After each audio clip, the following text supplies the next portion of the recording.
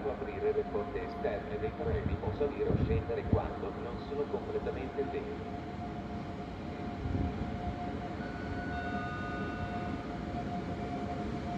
Attenzione!